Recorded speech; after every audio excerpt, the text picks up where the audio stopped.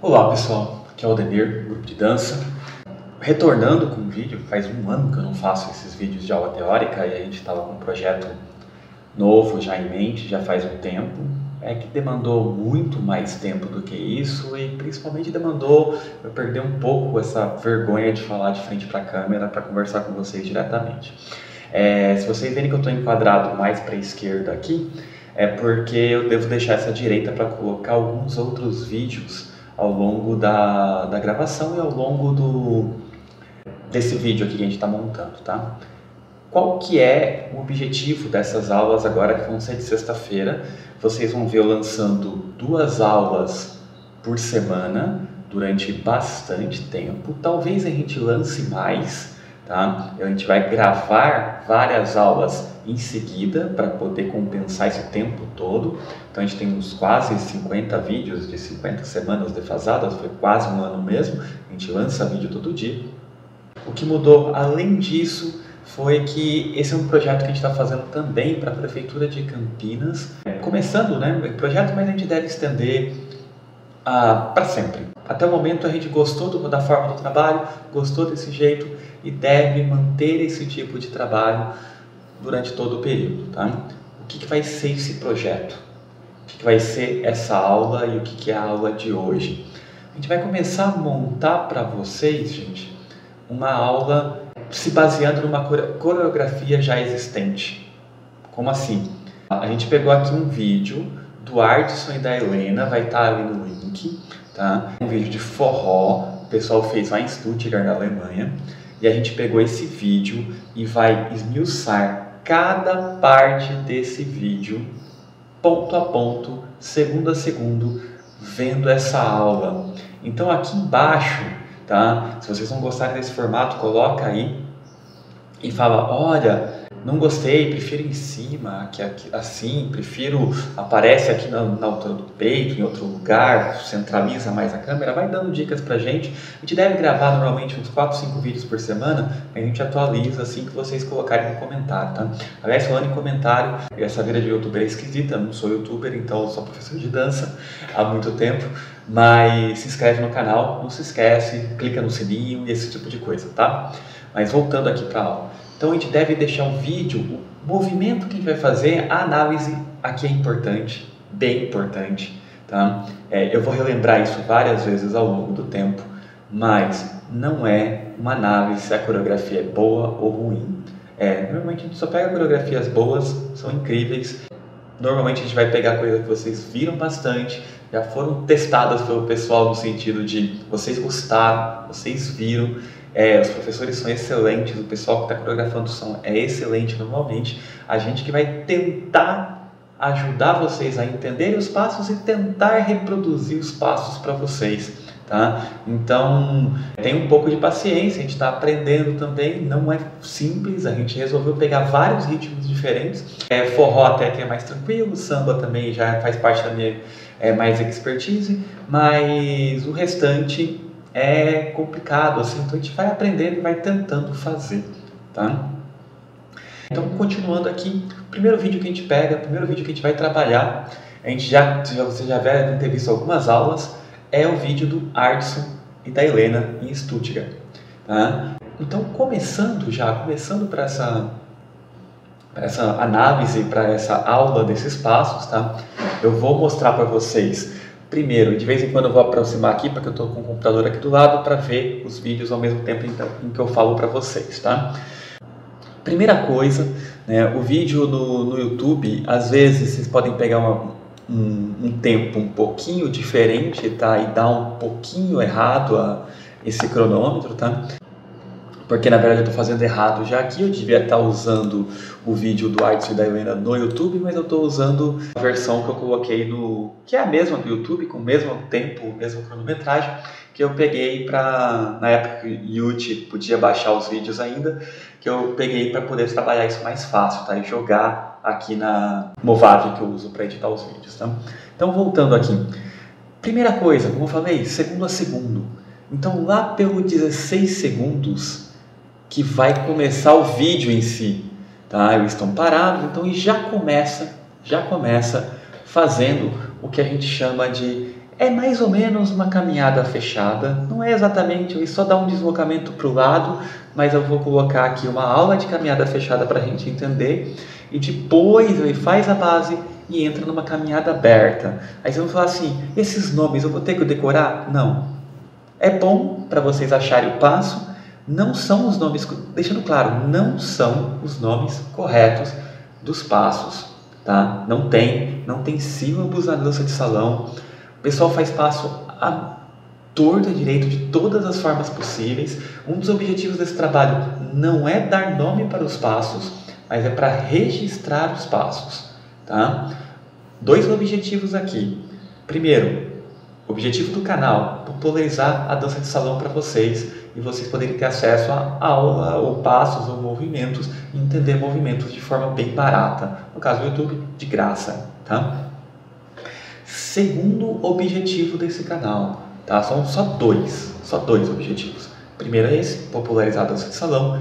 Segundo objetivo do canal, é, e super importante também, é fazer um registro desses movimentos. Na dança em geral, fora o Laban, que tentou fazer uma partitura para dança, o registro de movimentos de dança são mais complicados. Existe vídeo para alguns ritmos, como o balé, por exemplo, até existe um sílabus, uma, uma, uma forma escrita de fazer isso, mas fazemos vídeos registrando os passos, registrando tudo o que acontece, é bem interessante para a gente poder colocar.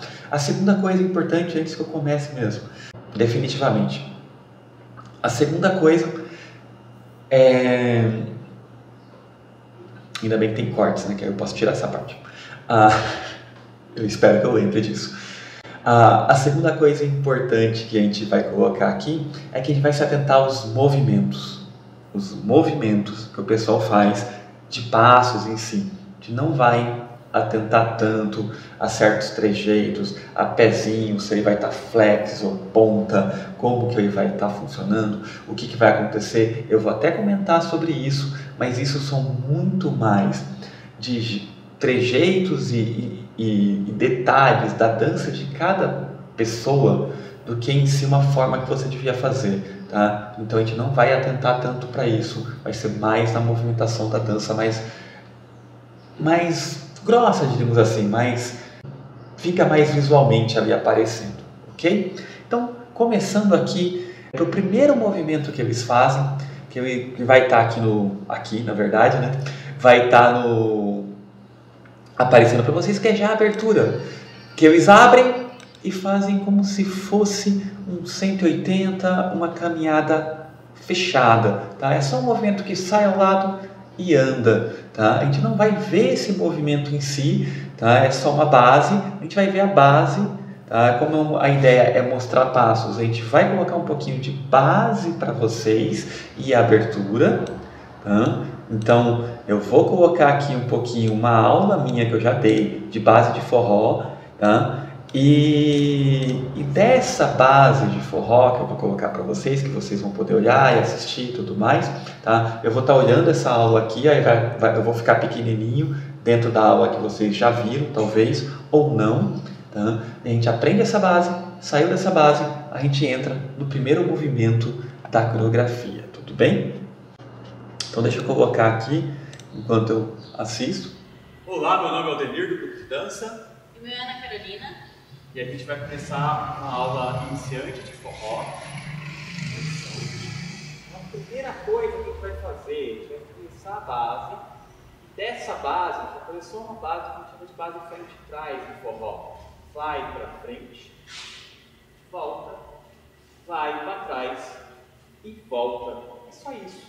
Um, dois, três. Um, dois, três. Um, dois, três. A gente pode mudar de direção. Três. Um, dois, três. Um, dois, três. Um, dois, três. Um, dois, três. Um, dois, três. Ok? Então, feita essa base, hum, é, espero que agora os microfones sejam melhores também, né? Ah, por enquanto acho que não vai ter carro aqui passando, espero por isso também. Então ele faz lá pelos 20 segundos, aí começa, começa dançando, começa virando um pouquinho, tá? E aí Aos 21 segundos, ele começa um passo que a gente chama, que está aqui agora, no movimento, que é um passo que a gente chama de caminhada aberta. Quando a gente dava aula no grupo de dança, a gente chamou esse passo de caminhada aberta, que é esse movimento que o cavaleiro abre a dama, caminha por ela e a dama dá uma volta em torno do cavaleiro. Tá? Como é que executa esse passo? Vamos ver agora. Hum. Mais um movimento que a gente fez, segundo movimento que a gente fez vídeo. Então a gente anda, três, um, dois, três, e a gente vai fazer uma coisa que a gente chama de caminhada aberta. Braço direito vai abrir a dama, um, eu vou passar por ela e vou trazer a dama de volta. Entrar na base. Um, dois, três, um, dois, três, um, dois, três, um, dois, três, um, dois, três, um, dois, três, um, dois, três, um, dois, três, um, dois, três, um, dois, três, um, dois, três e um, dois, três. Ok?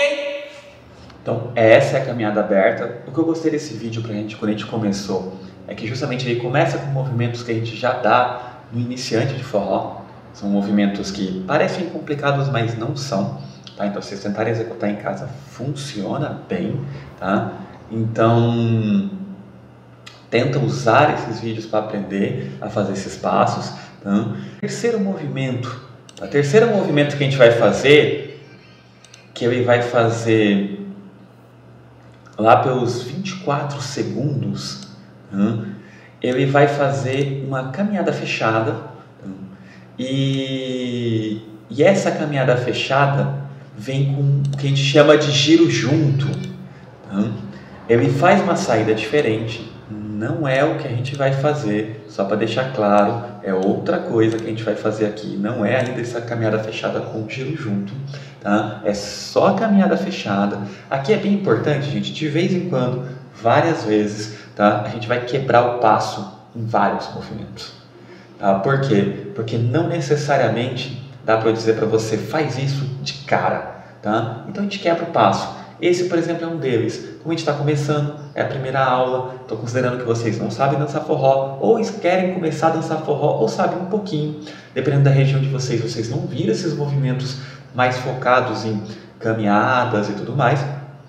Então, tenta fazer aqui uma coisa de cada vez. Então, a primeira coisa que a gente vai colocar agora é uma caminhada fechada, que é esse movimento que ele faz aos 24 segundos. Então, e aí vocês aprendem essa caminhada fechada. Daqui a pouquinho a gente coloca o giro junto. Ok? Então vamos lá para a caminhada fechada. Então começando com essa dança do artes que desenha. O que a gente faz? Indo passo a passo aqui. O primeiro movimento que a gente vai ver, por coincidência é do iniciante, a gente dá iniciante, é uma caminhada fechada, simples. Como assim? Eu vou andar para frente com a dama, dar um passo para a direita e voltar para frente dela. E daqui, a gente continua. Um, dois, três.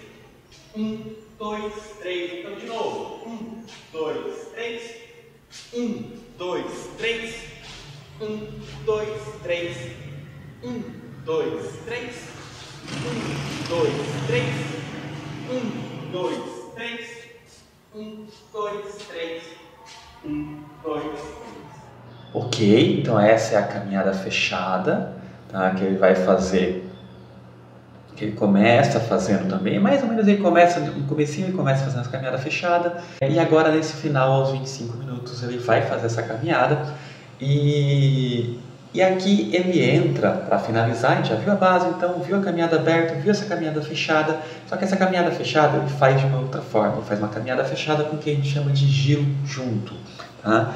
É, novamente, para quem está perdido, muito nome, ignora os nomes, tá? segue as aulas direitinho, a gente vai montar a coreografia direitinho, não esquece, e se inscreve, clica no sininho, se inscreve no canal, mas agora voltando não, ignora os nomes, tá? O nome vai ser mais para você pesquisar, caso você queira aprender e ver isso de uma certa forma, vai ajudar bastante, mas o foco principal aqui, tá? É ir aprendendo esses passos, dar o nome que você quiser e montar, não a coreografia deles, mas aprender cada movimento que eles fazem. Tá? Então, essa caminhada fechada que vocês acabaram de ver, ela se junta com outro movimento que a gente chama de giro junto. Esse giro junto ele faz uma saída diferente, que a gente vai ver na próxima aula. Tá? Aqui outra coisa importante, esse é o primeiro vídeo, tem muito mais informação do que o normal, tá?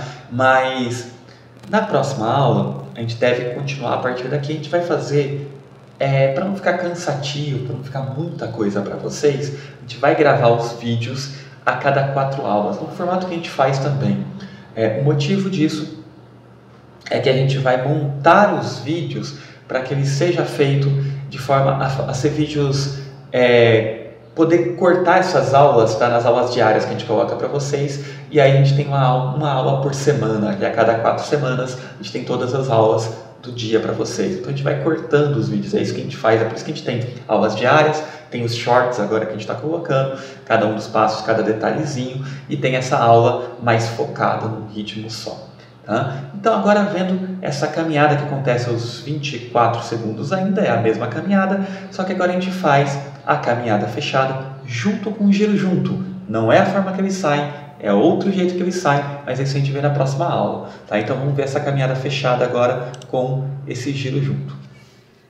Mais um movimento, a gente vê também na introdução, a gente vê também no vídeo, logo depois da caminhada aberta dois, três. A gente faz a caminhada fechada. Um, dois, três. Na hora de chegar nessa caminhada fechada, a gente faz que chama de giro junto. Um, dois, três. E base. Dois, três. De novo. Dois, três. Um, dois, três. Um, dois, três. Um, dois, três. Um, dois, três. Ok? Então a gente viu esses quatro movimentos, aprendeu esses quatro movimentos, agora a gente sabe como fazê-los, todos eles. Tá? É, esse é o comecinho, como vocês perceberam, é longo. Tá? A aula desse vídeo do Alisson e da Helena vai demorar bastante, a gente só está nos 30 segundos iniciais ainda. Próxima aula a gente deve pegar mais uns 30 segundos. Tá? E aula após aula é mais ou menos isso. Espero que vocês tenham gostado. Tá? Então, Vamos ver se a gente aprende a fazer esses movimentos, passo a passo, detalhe por detalhe, cada um deles, a gente vai aprendendo todos eles. Aqui é importante, gente, por causa de direitos autorais, eu não coloco os vídeos com música aqui ou coloco a música extremamente cortada. A gente grava, a gente também grava uma dança com todos esses passos. Então a gente sempre monta uma dança com todos esses passos vai estar disponível para vocês. Eu vou colocar para vocês e vocês vão ver aqui em cima. Vai ter o link aqui e vocês vão conseguir acessar aqui a, tanto a aula que tem as danças já cortadas, as aulas diretas, quanto a só a dança, caso vocês queiram ver fazendo na dança, tá? É, de vez em quando vocês vão ver fazendo sendo feito na dança, mas vai estar montado, tá? Isso é por causa de direitos autorais mesmo, que é difícil usar música normalmente aqui, infelizmente, tá? Então é isso, espero que tenham gostado. Semana que vem, na verdade hoje ainda, porque a gente vai lançar duas por, duas por sexta-feira, né? Até que a gente endireite tudo junto, tá? Mas ainda assim, semana que vem a gente tem mais aula, a gente continua esse vídeo até acabar com tudo e valeu!